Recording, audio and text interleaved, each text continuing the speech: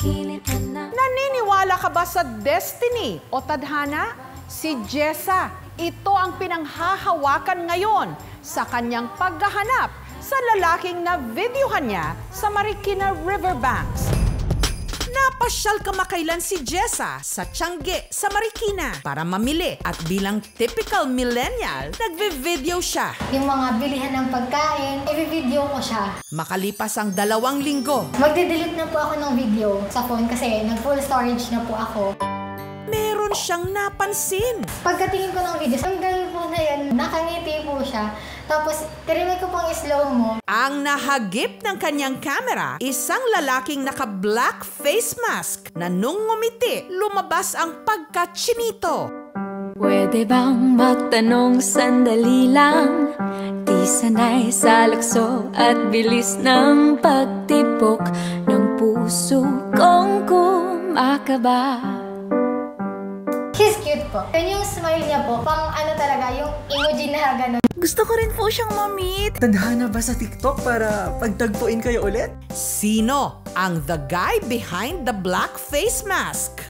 May membership card daw si Jessa sa mga SMP o samahan ng mga malalamigang Pasko. Kagagaling lang kasi niya sa hiwalayan. Nabudol, nasaktan, nastamo ka ng pag-ibig. Kaya itinuon na lang niya ang kanyang panahon sa kanyang pag-aaral, pagpa-part-time model at pagbubukonera. Pero maski ano pa raw baling ng kanyang atensyon, Nami-miss ko yung feeling na pagkatapos mo mag-aral, may magsasabi sa'yo na, okay ka lang ba? Kakamustahin yung araw mo? Or sasabihin sa'yo na, pwede kitang dalawin. hanggang na videohan na nga niya ang lalaking naka-black face mask. At ang kanilang encounter, nasundan pa pala. May photographer po, nagpipicture, picture ng stranger photoshoot. After ko pong magkaroon ng solo shoot, and siya din po, nandun siya sa gilid namin nakatayo. Naisipan ko, ah, gusto ko tong ano, i-post, hanapin ko siya. Dito na may nag-comment, kilala raw niya ang lalaki sa video at hindi kinaya ni Jessa ang kanyang natuklasan. Ang the guy behind the black face mask. Nakasama na niya pala taong 2019. Hindi ko lang ma-recall kung ano yung na-represent niyang program, pero nakasama ko po siya. Nakakatawa yung tadhana, pero ang baduy. Hi! Kung sino man po nakakakilala, yung guy na pinost ko sa TikTok, let him know na gusto ko pa siyang makilala. Pero ayon sa TikTok comments, si Mystery Guy meron ng asawa't anak. If ever man na malaman ko nga na may anak or may asawa, I would say sorry. Kasi ayoko po na may nadadihado ako. Kaya hinanting namin ang lalaki sa video at natunto namin siya sa Teresa Rizal. Ang dating naka-man bun sa video, ang the guy behind the black face mask. Heto, bagong gupit na. Si Christian! Nasa Marikina Riverbanks daw siya noon para solong mag-food trip. Hindi ko alam na binidyohan niya ako. Sabi ko, sino may paki? Kasi dami nang mention, Kuya, dami naghahanap sa'yo. Sana nakita mo yung video ni Ate Jessa. Kulat po. Huminto muna sa pag-aaral at nagtatrabaho bilang encoder si Christian. At kahit dati pa pala, Bago mag-viral po yung video, kilala ko po si Jessa sa pangalan lang po dahil TikToker din nakaka-attract. Chinita. Galing sa mayaw, idol. At natatandaan nga ni Christian na nagkasama na sila sa isang beauty pageant. Pero nung mga panahong yon, May jowa po kasi ako kaya di talaga ako naipag-usap sa ibang babae. pero ngayon si Christian, single na single na. Single life kasi nag-grind sa work. Pero ako pinanormal niya. Wala po.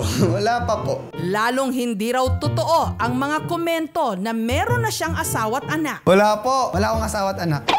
Natatawa na nga lang po ako eh. Gusto ko siya makita ulit kasi gusto ko rin po mag-thank you. Pasaya na po ako. Hi Jessa, sana sa meetup natin, wag mo na ako videoan nang hindi nagsasabi. Para naman maayos mukha ako dun. Pawis na pawis ako dun eh.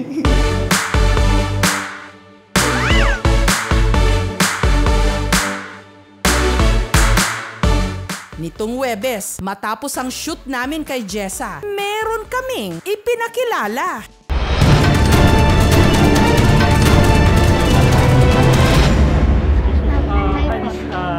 Hi, po. okay lang po, unang ko po kayo ng photoshoot. Okay lang. Yes po. Pero hindi ito si Christian ha, isa itong street photographer. Habang pak na pak sa pag-aura si Jessa, ang the guy behind the black face mask. Personal nang mag-face reveal sa dalaga. Walang iba kundi si... Christian! Para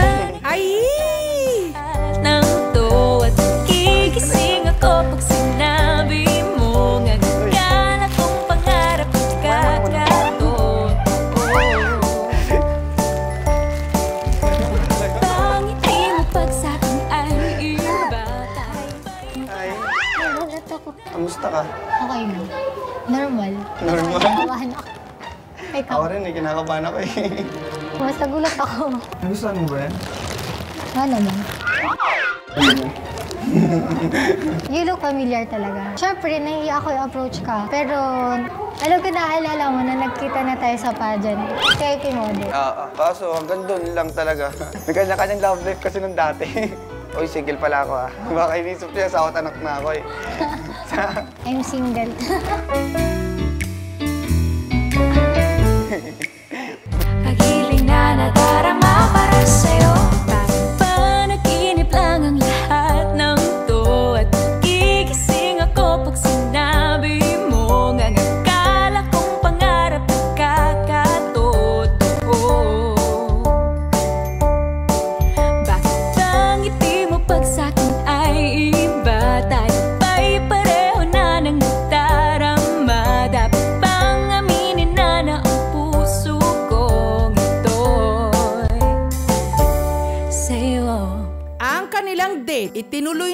saan sila nagka-chance encounter sa Marikina. Pero ang tanong ng bayan, may pag-asa nga ba na mauwi ang pagkakaibigan sa pagkakaibigan? Sana mabot ng Pasko po. Ay, Pasko na. December na. Slowly pero sana sure.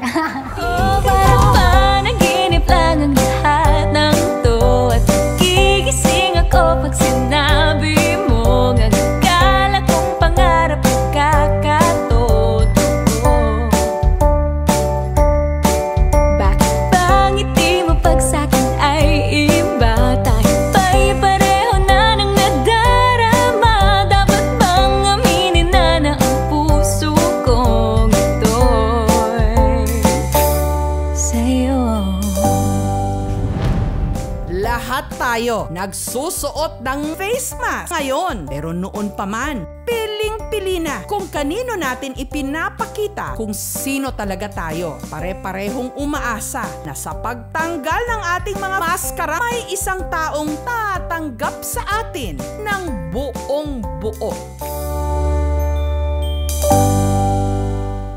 Thank you so much mga kapuso. Kung nagustuhan niyo po ang videong ito, subscribe na sa GMA Public Affairs YouTube channel. Don't forget to hit the bell button for our latest updates.